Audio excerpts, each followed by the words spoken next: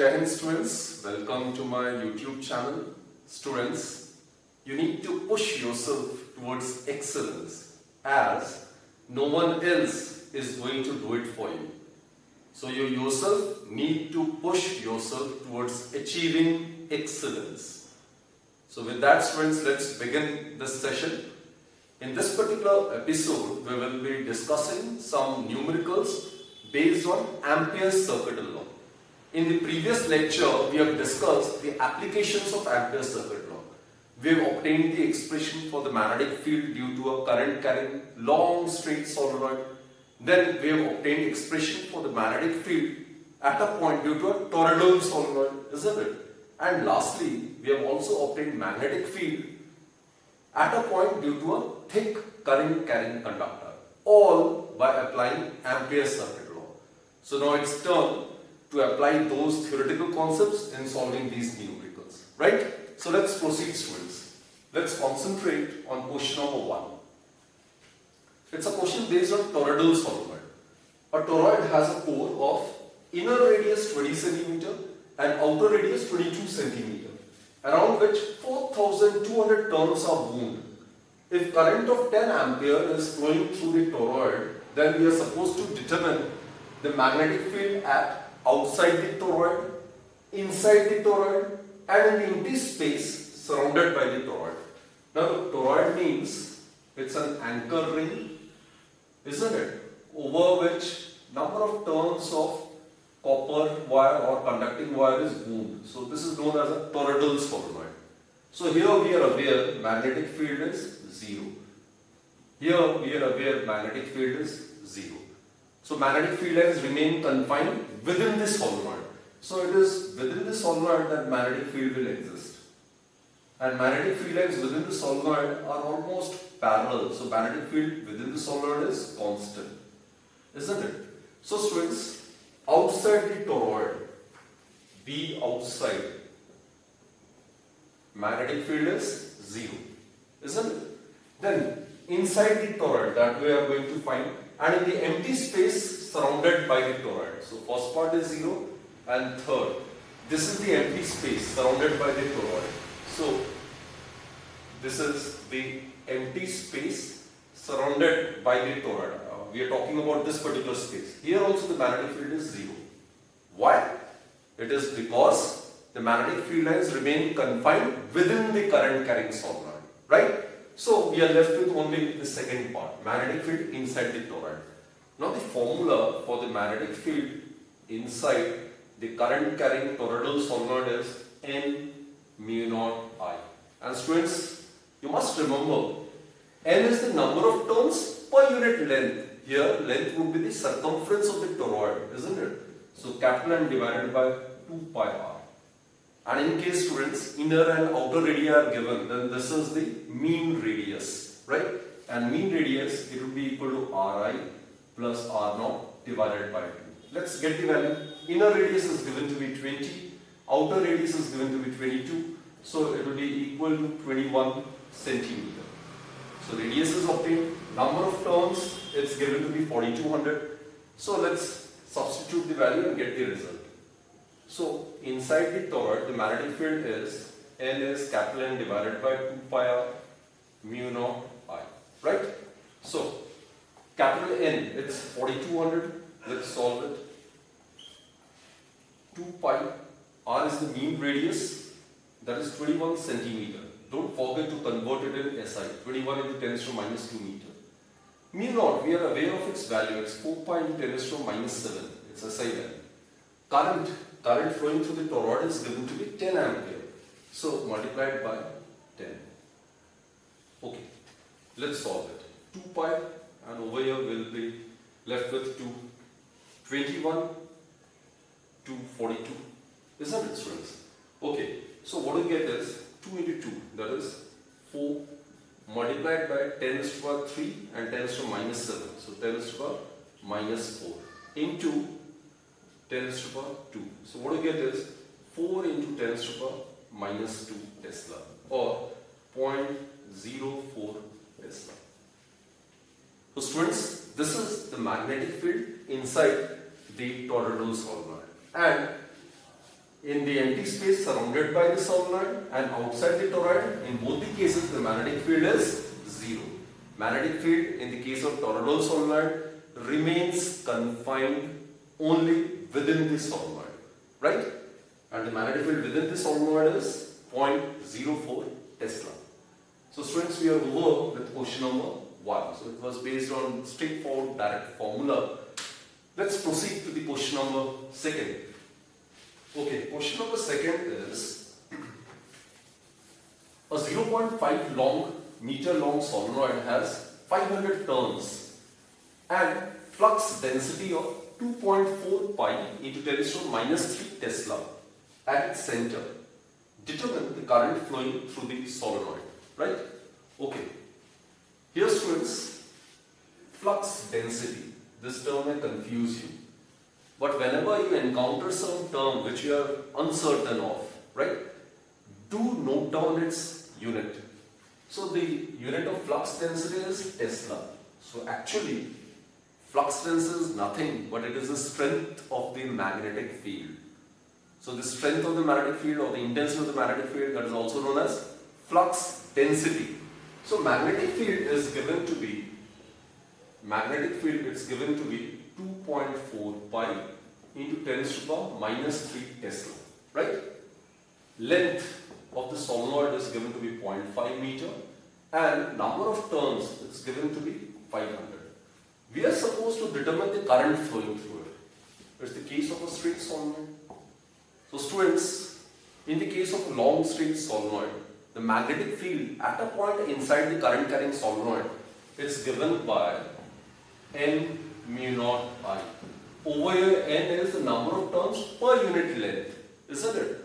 So let's substitute this value. So B would be equal to n by L mu naught i. So B is 2.4 pi into 10 to the minus 3. Number of turns it's 500. Length it's 0.5 mu naught it is 4 pi into 10 to the minus 7 and the value of current is to be determined. The current is to be determined which is flowing through the solenoid, right? So let's try to solve it. Pi pi gets cancelled. So what do we get? 0.10 will come over here, so it will be thousand, isn't it? So and the right hand side we'll be left with 4 into 10 raised to power minus 4i, Isn't it? 10 to minus 7 multiplied by 10 raised to power 3. So that will give us 10 to minus 4. Over here we'll be left with 2.4 into 10 to minus 3. Therefore current I would be 2.4 multiplied by 10 to minus 3 divided by 4 into 10 to minus 4. So it will be 2.4 into 10 divided by 4. Am I clear students? So which in turn this becomes 10 as 10 to minus 4. It will become 10 to 4. 10 to 4 is 10 to minus 3. That will give us 10. So 2.4 multiplied by 10. That will give us 24 by 4 which will be equal to 6 ampere. Correct students? So in this question as per the given condition the current which must be flowing through the current carrying solenoid is 6 ampere. Right students? So this was the second question again based on direct formula, right? Let's proceed with the next question, third one. Third question is again the case of a solenoid. A solenoid is 2 meter long and 3 centimeter in diameter. It has 5 layers of winding of 1000 turns each and carries current of 5 ampere. We are supposed to determine the magnetic field at the center as well as at the end points, right? So this is an interesting question. Okay, length is given to be students 2 meter and diameter it's given to be 3 centimeter and it has got 5 layers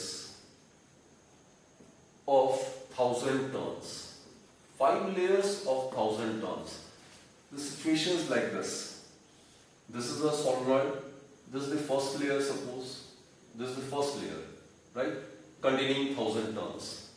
and then it will have second layer again containing 1000 turns. Then again it will have third layer containing 1000 turns. Then again fourth layer having 1000 turns. And finally again fifth layer again containing 5000 turns. So total number of turns would be number of layers multiplied by number of turns in each layer.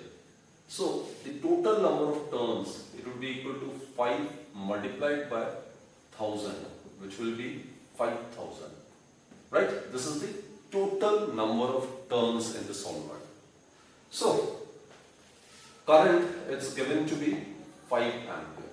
Let's concentrate on the first part. We are aware students, as the current is made to pass through it, one end will behave as south, the other one end of the solenoid will behave as north. So the magnetic field lines inside the solenoid are almost straight and parallel. So inside, inside the magnetic field is constant, isn't it? And Inside the current carrying solenoid, the magnetic field is given by N mu naught I. Right? Small n.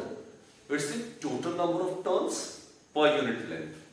So, B center, it would be equal to capital N divided by L mu naught I. So, let's substitute the values. N is, it's given to be 5000. Length is given to be 2 meter. Mu naught is given to be 4.10 to minus 7. Remember students, mu naught is the absolute permeability of free space, right? It is the characteristic of the medium under consideration. Medium of what? Medium lying in between the solenoid, right? And its value in the case of air or vacuum is 4 pi into 10 to minus 7 Tesla meter per ampere. That's its SI unit. Multiplied by current. Current is given to be 5. Okay, we can easily solve it. So this becomes 2, 2 pi, right? So it will be 5, 5, 25, 25 to 50 pi into 10 to 3 into 10 to minus 7. That will give us 10 to minus 4. Or 5 pi into 10 to minus 3 Tesla. Clear students? So, this is the net magnetic field at the center. You can solve it further. You can write it like this also. 5 into 3.14 multiplied by 10 to minus 3 Tesla. That will give us 5 20, 0, 2. So it will give us 15.70 into 10 to the minus 3 Tesla. Clear students? This is the magnetic field at the center of this current carrying solenoid. Right? Okay. Now what we are supposed to do is, we are supposed to determine the magnetic field at the end points. So in order to find out the uh, answer of the second part, we will directly make use of the result. We know that at the end points, students, at the end points, at the end points, always remember the strength of the magnetic field is equal to half the strength of the magnetic field at the center. So what I mean to say is that Bn it will be equal to half the strength of the magnetic field at the center of the current carrying solenoid. So what we'll get is half multiplied by 15.7 into 10 to minus 3 Tesla.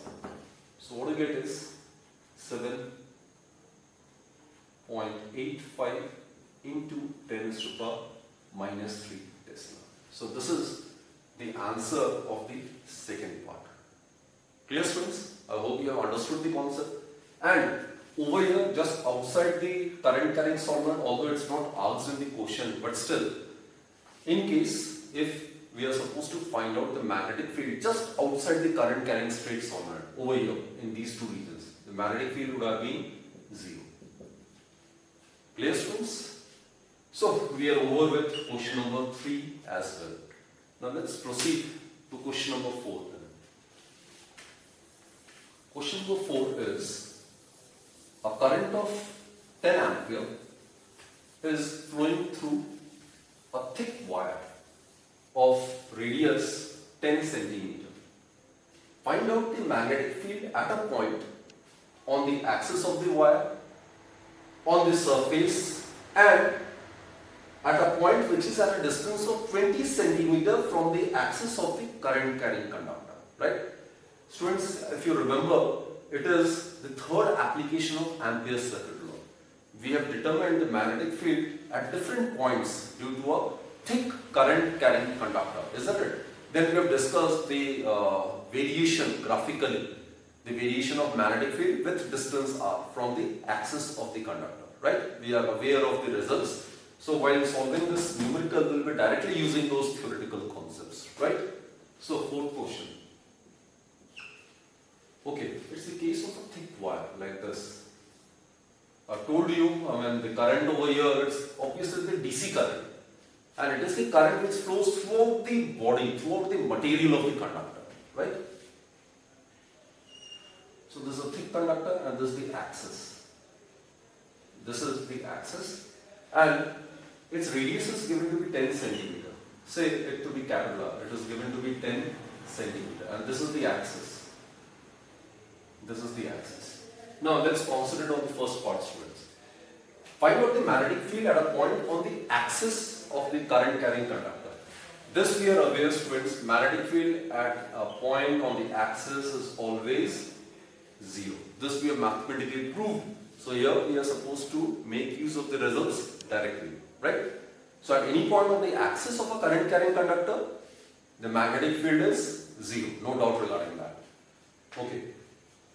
On the surface, okay, this is the point on the surface. On the surface, the magnetic field is maximum, right? So magnetic field on the surface is maximum. And what is its formula? Mu naught I divided by 2 pi capital R. Capital R is the distance of the point on the surface from the axis, right? So what we get? Mu naught is 4 pi into 10 is to minus 7. The current flowing through the straight thick conductor is 10 divided by 2 pi and this distance r, it is 10 centimeter. So 10 into 10 is to minus 2. Don't forget to convert it in SI units, right?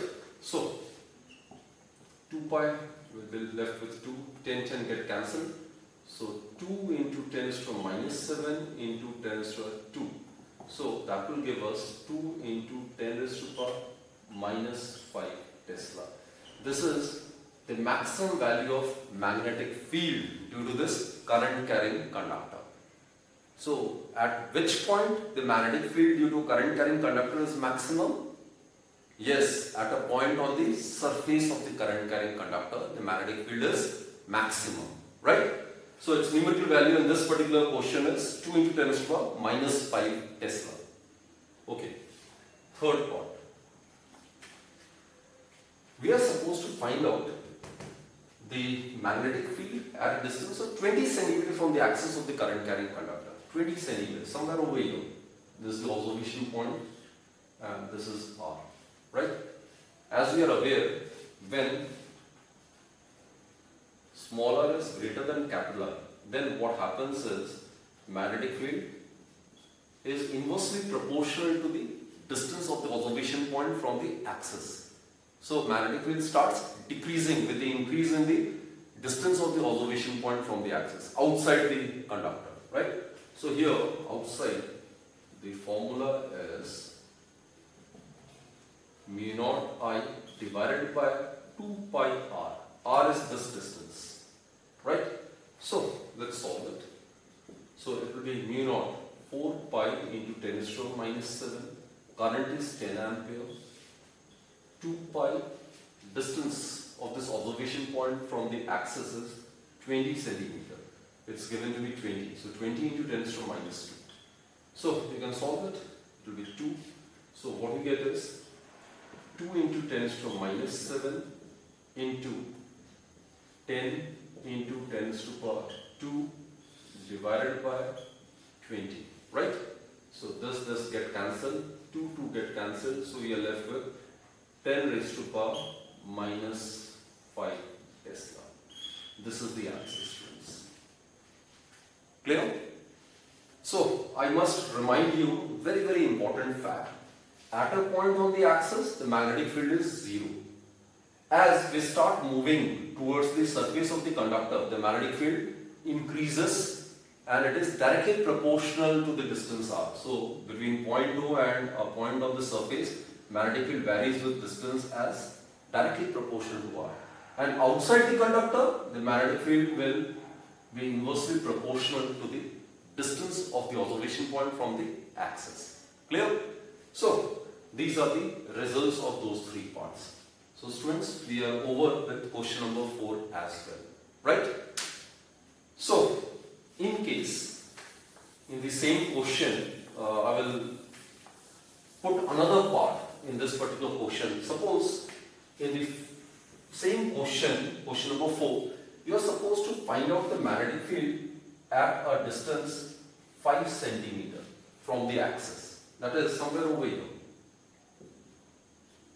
So, fourth part, when small r is less than capital R. Here, magnetic field is directly proportional to small r. So, at any point inside the thick current carrying conductor, magnetic field is directly proportional to the distance of the observation point from the axis of the conductor. And students, inside the magnetic field is given by mu naught I smaller divided by 2 pi capital R square. This is the formula which we use to determine the magnetic field at any point such that small r is less than capital R. Right? So, let's find out the value. Mu naught is 4 pi into 10 raised to minus 7. Current is 10 ampere. Small r, small r, this distance is 5 centimeter.